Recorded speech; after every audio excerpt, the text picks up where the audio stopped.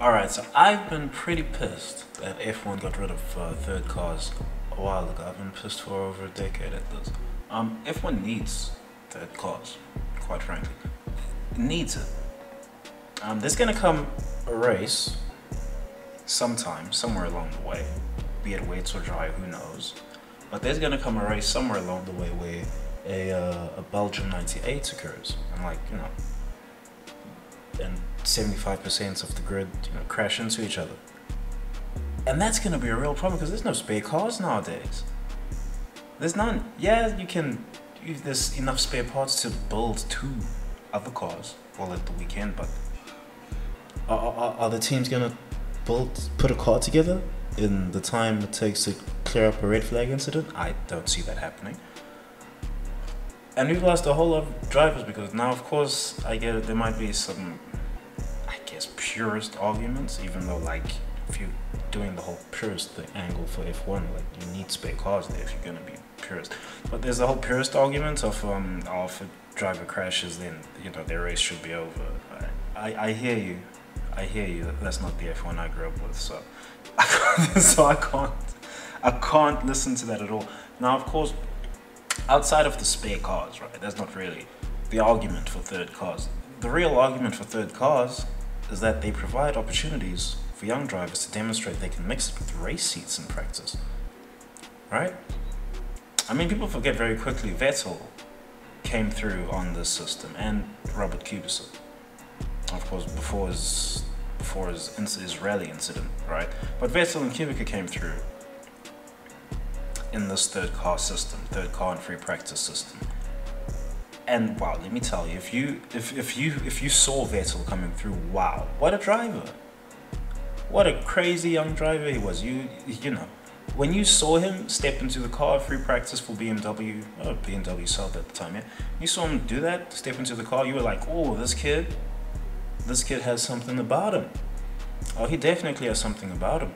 They better put him in the race seat real quick, or you know, someone's gonna snatch him. Lo and behold, that's exactly what happened. Lo and fucking behold, that's exactly what happened. But Vettel, he was immense. Immense. You know, young driver getting some free practice runs out. He was immense. He was often topping timesheets well ahead of the other BMW Sauber drivers. I think one of them was Kubica, but I might not have been. I might be fibbing there. But he was well ahead. Well ahead in free practice times. And you know, you would sit there, a layman in the audience, and you would wonder quite sincerely, how was this kid on the race seat? You know, what, what are they seeing there on the simulator at base? But as you can see, they were able to put him in the third car for free practice, and well, well, the rest is history, isn't it? But one thing that's not really appreciated about when we still had third cars and free practices. You get more time to eye test the young driver. A lot more time. And there's been the death of the eye test lately, I suppose. That has been something that's occurred, although you end up with some drivers who are just so good that, yeah, they become the eye test. You got your Lewis Hamilton and Verstappen, Leclerc. They become the eye test, as it were. But I, I digress. There has been a death of the eye test in the F1 fandom slash community. I'm not quite pleased with it. It's probably to do with uh, modern politics to some way, so that, you know it's not really worth delving into.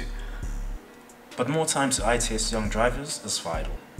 It's vital. Why is it vital? Because the young driver tests are, are frankly pathetic. They're just pathetic. There's not one driver who has gone through those tests that has found any real tangible value in them all the value that they've had to get, all the experience that they've had to get, doesn't come from the young drivers. They go to a, a, a back market team, you know? They go to a back market team. Be it Alfa Romeo with Leclerc, be it Williams with George Russell. You know, you have to go to a back market team to to get to get some F1 experience, to get some mileage, to get mileage in the cars, right? Before there was free practice sessions. teams had a third car. um, Ferrari never ran a third car. That was an interesting observation from back in the day. Ferrari never ran a third car. But McLaren did run a third car, and they would often put uh, Pedro de la Rosa in the car. I think on one occasion they put Gary Paffett, doesn't matter. But they would often put Pedro in the car. He would just be doing, uh, you know, simulation runs while while the while the actual race drivers, Kimi and Montoya at the time, I believe, while they were just doing their weekend their weekend program, right? But if you replace Pedro de la Rosa, because McLaren very well could have put uh, Lewis Hamilton in that third car seat, and they would have been able to see what he was able to do in free practice sessions. Now, of course, they, of course, they wanted him to get the whole GP2 year under his belt, so that's what happened. Fair game. It's neither here nor there. But do you know there were no young driver tests back then? Hamilton never had no young driver tests. He just came on on experience, and that was that. Verstappen, he went to Toro Rosso. He had a year and a half, a year and a third, I should say, at Toro Rosso and that really helped him there. No, I wasn't just a year at Toro, so I'm, I'm feeling that it was two years at Toro, so two years and, and, and some change. Two years and change at Toro, so. But he got all his, his mileage under his belt at Toro Rosso. Now you see, Red Bull might have been able to actually throw him into the, the, the, the, the main team, the first team, as it were. If third cars were a thing, and you had 17 year old Verstappen getting some mileage and in the main team, you know, over some over some race weekends. And everyone would have been eye testing him there, like, ooh, who's this kid? Ooh, you know, he's going faster than he's just about matching Ricciardo, he's just about matching Vettel. Who was this kid? He's 17. It would have been, it would have really been something. And it's very likely Red Bull wouldn't have even bothered with um, the Toro Rosso route, just like uh, McLaren with with Hamilton there was no need to make a deal with Williams or something to put Hamilton in the car. He had passed the eye test, especially off his GP2 year. But I digress. I digress. Formula 2 is not is not like GP2 at all. At all. But I digress. It's not it's not worth delving into that for this episode. Bring back third cars. They're really needed. They served quite a useful function. And without them, we're kind of we're kind of having to suffer some really bad drivers more often than not. Anyway, on with you there. Hell breezy. Let me show you how to keep the dice rolling when you're doing that thing over there. Hey. Hey, let's go! Cause I'm feeling like I'm running and I'm feeling like I gotta get away, get away, get away. Better know that I don't and I won't ever stop.